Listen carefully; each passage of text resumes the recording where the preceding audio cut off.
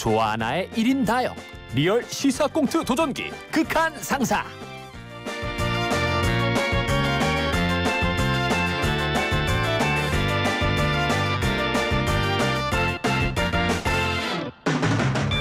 어, 은지 선배님 손가락에 피나요 피. 어, 피네. 언제 벤 거지? 갑자기 피를 보니까 머리가 어지러운 것 같아. 나는 누구? 여기는 어디? 아, 팀장님, 저 아무래도 회의 참석 못하고 좀 일찍 퇴근해봐야 될 것 같아요. 아, 어지러워. 은지 씨, 그 정도면은 침만 마르면 낫겠구만. 뭘 그리 엄살이야. 오늘 회의 때문에 퇴근이 늦어질 것 같으니까 괜히 꾀부리는 거지. 이 박 팀장은 극한상 49주를 손바닥 보듯이 다 꿰뚫어보고 있다고. 어머, 팀장님, 정말 서운합니다. 저는요, 학교 다닐 때도 개구리 해부 실습하면 기절했던 그런 사람이라고요. 어, 은지 씨도 그랬어? 아, 내 친구 중에도 울고불고 하던 애 있었는데 개구리 너무 불쌍하다고 말이야. 과학실에 개구리가 막 뛰어다니는 것도 떠오른다. 아, 진짜 난리도 아니었는데. 어머, 대리님, 저 지금 그때를 다시 떠올리니까 또 어지러워요. 트라우마로 남았는지. 아, 정말 요즘 같은 세상에 굳이 그 동물을 직접 해부할 필요가 있는 건가요?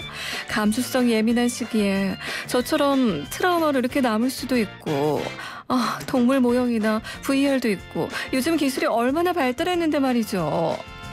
아, 은지 씨 그때 진짜 엄청 놀랐었나 보네. 나는 그냥 뭐 학교 수업이라고 생각하니까 딱히 뭐 감흥 없었고 그거 잘해야 점수 잘 받으니까 그냥 별 생각 없었거든. 아, 근데 이번 달부터 미성년자 동물해부 실습 없어진대. 대리님, 근데 꼭 그런 건 아닌 것 같아요. 동물실험윤리위원회 심의와 승인을 받으면 할 수도 있다고 합니다. 뭐 물론 살아있는 게 아니면 그 기준이 조금 더 낮고요. 뭐? 그러면 동물해부 실습이 아예 없어지는 게 아니고 뭐 할 수도 있다 그런 거야? 아 정말 마음에 안 들어. 동물도 불쌍하고 아 생각만 해도 끔찍하다. 은지 씨, 듣다 듣다 하니까 과학 교육을 너무 띄엄띄엄 생각하는 거 아니야? 생명과학은 실험 실습을 기반으로 형성된 그런 학문이라고. 그게 학문이니까 해봐야지 뭔가 그래도 기억에 남는 거야. 나를 봐보라고. 과학 시간에 이런저런 실험을 해봤더니 이렇게 탐구 정신이 투철한 사람이 되지 않았겠어? 아, 장이탄, 장이탄 생각은 어때? 나랑 같지? 아.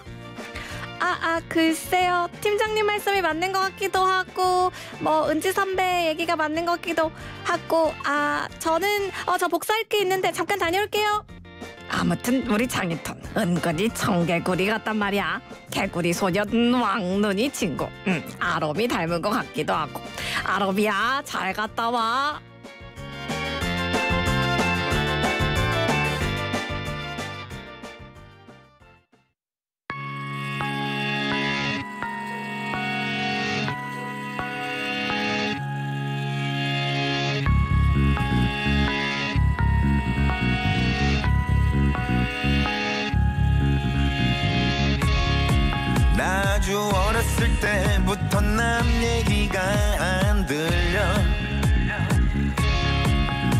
어려서 그랬을까? 하지만 지금도 잘 안 들려. 살면서 가장 많이 들었던 말 너 그러다 뭐 될래? 살면서 가장 많이 하고픈 말 내가 알아서 할게. Yeah. 그래 나 청개구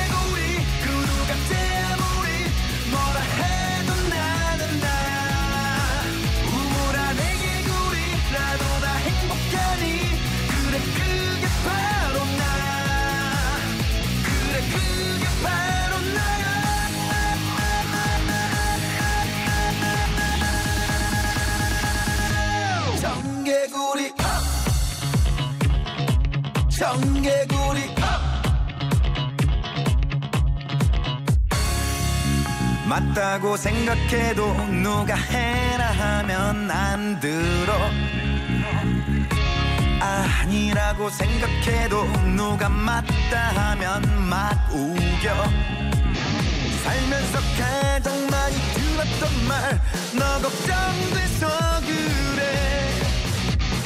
살면서 가장 많이 하고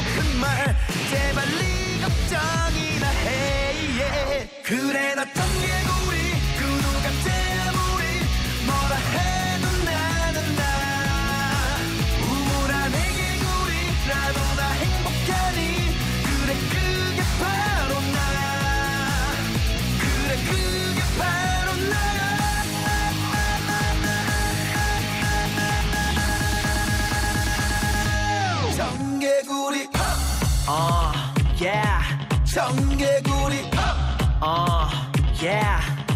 Let's go. 개굴 개굴 개구리가 고래 고래 고래 소리친다. 개굴 개구리 두 마리가 노래 불러. Go 하지만 란지만 어쩜 그리고 나는지 무관심에 상심이 컸던 아이 난 아는지 넌 몰라 네 생각 따윈 whatever 난내 맘대로 해. 난 도라이 남 시선 따윈 누가 뭐라던 내 방식대로 에 봐 그때가 누가 잘 되나 봐. 부끄러워 울어봐 핫걸 날 좋아 핫걸 그래 난 청개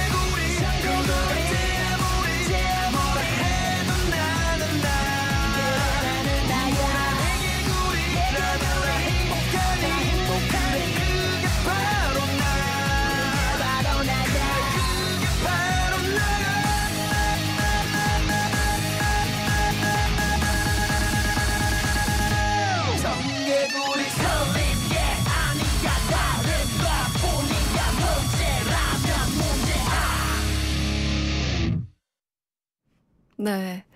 3916 청사님, 아이고, 얼마나 피난 연습을 했으면 성대모사를 기가 차도록 잘하는 거야. 음? 현지님, 따봉? 이렇게 보내주셨는데, 반대로 0047 청사님, 큰아들이 직장인인데 회사 옆으로 독립을 해서 나갔어요. 언젠간 떨어져 살아야 하는 거 아는데, 왜 이리도 허전할까요? 오늘은 현지 씨 꽁트를 들어도 시무룩해지네요. 아이, 제가 0047 청소년님께는 뭔가 도움이 안 됐고, 3916 청소년님께는 그래도 좀 웃음을 드렸던 것 같은데 0047 청사님 미리 연습하는 거라고 생각을 하세요. 뭐 경제적 독립도 독립이지만 사실 부모와 자식 사이에도 어 정신적 독립이 서로 이루어져야 하는 시기에 분명 필요하다고 하잖아요.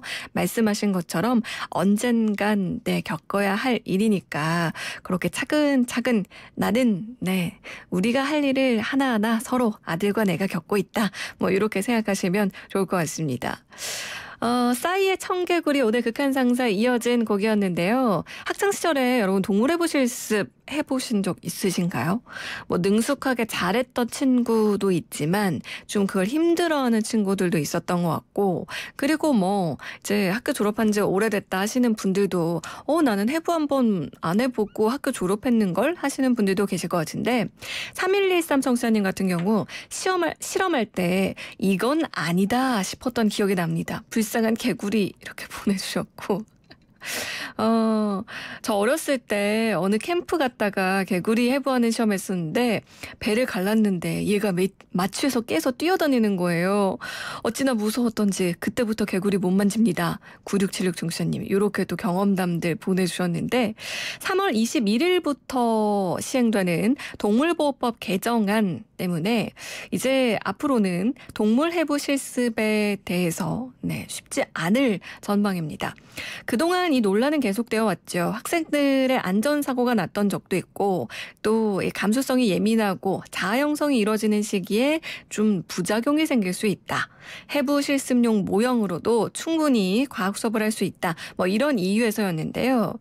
어, 다만 네 이렇게 미성년자의 동물 해부 실습이 3월 21일부터 금지 가 돼도 학교에서는요. 일반 동물실험기관의 동물실험윤리위원회 또는 이에 준하는 윤리위원회 심의와 승인을 거치면 가능하다고 합니다.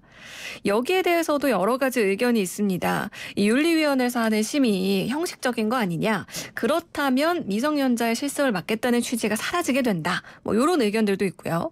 반대로 생명과학도 교육에서 아주 중요한 부분인데 이런 걸 못하게 하면 학습 기회를 줄어들게 하는 것이다. 과학 발전에 도움이 되지 않는다. 뭐 이런 의견들도 있습니다. 여러분의 생각은 어떠신가요?